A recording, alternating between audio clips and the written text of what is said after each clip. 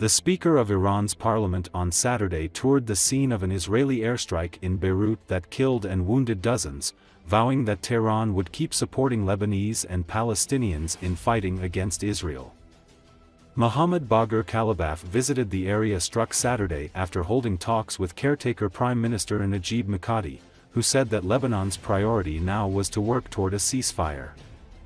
His office said that Lebanon's government still abides by a 2006 UN Security Council resolution approved at the end of a 34-day war between Israel and Hezbollah and was prepared to boost Lebanese army presence along the country's border with Israel. It was the second visit by an Iranian official to Beirut in recent days after the country's foreign minister visited Lebanon earlier this month. Iran is a main backer of Lebanon's Hezbollah group that suffered major setbacks in recent weeks on top of it the killing of its leader Hassan Nasrallah.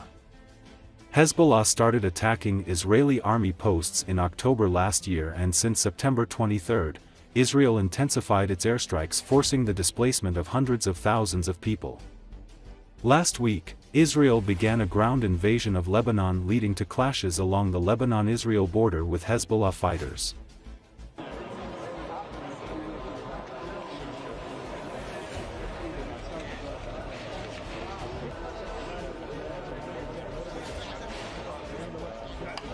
شنو هو شو اسمه؟ محمد باكر كاليبار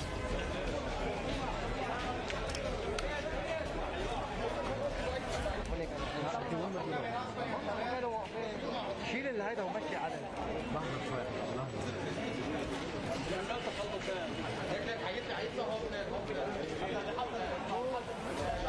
شكلك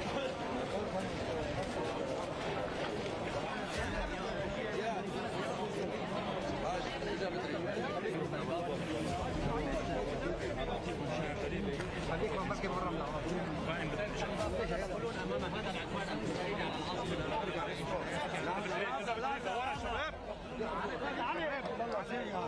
علي علي يلا.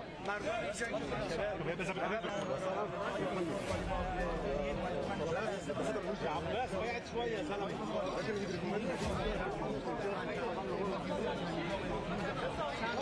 معاك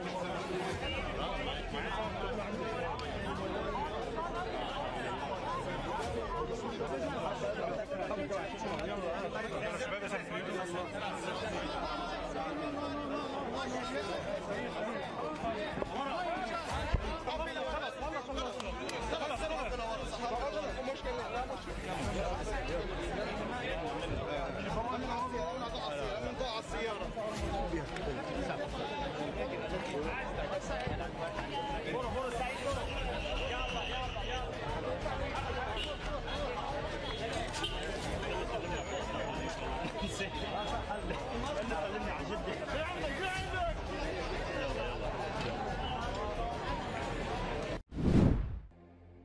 Russian President Vladimir Putin met Iran's president on Friday at a time when Tehran is supplying weapons for Moscow's fighting in Ukraine and concerns are growing over escalating attacks between Israel and Iran and its militant allies. Putin and Iranian President Masoud Pezeshkian discussed the situation in the Middle East on the sidelines of an international forum in the Turkmen capital, Ashgabat, Russian state media said. Moscow and Tehran signed a $1.7 billion deal for Iran to export drones to Russia after Putin launched his so-called special military operation in Ukraine in 2022, and the US also believes it has transferred short-range ballistic missiles.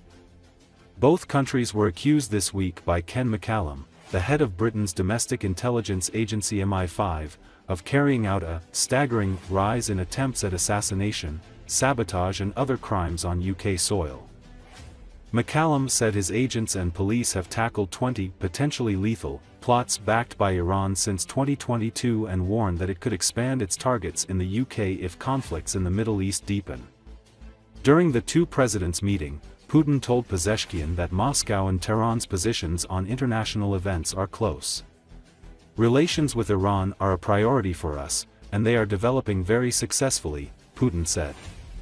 We actively work together in the international arena, and our assessments of current events in the world are often very close.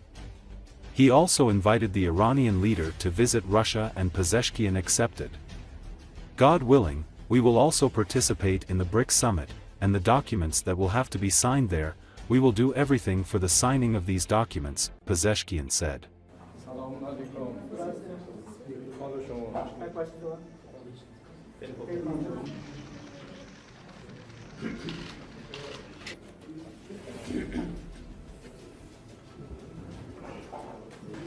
Отношения с Ираном носят для нас приоритет, приоритет хорошо. ҳамкориҳои ду кишвар э, барои мо як э, оулавият аст. И они развиваются очень успешно. Ва хеле хуб тавсеъ в этом году мы наблюдаем рост товарооборота. Мо мушоҳида мекунем ки ҳаҷми а тиҷорӣ афзаёш пидо мекунад правда он не э, отыграл. падения прошлого года. ولی هنوز این افزایش جبران نکرده اه، روند نزولی سال گذشته Но тенденция хорошая. ولی به به طور کلی روند روند مثبتی است Мы активно работаем вместе на международной арене, и наши оценки происходящих событий в мире часто очень близки.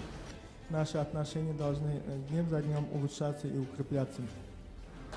ما برای همین فرصت های خوبی هستیم میتونیم به همدیگه کمک کنیم از هر نظر و نگاه ها و موضع گیری های ما در دنیا اه، ن- خیلی به همدیگه نزدیکتر از دیگران هست Должны бу- будут там подписаться. Мы сделаем все для подписания этих документов.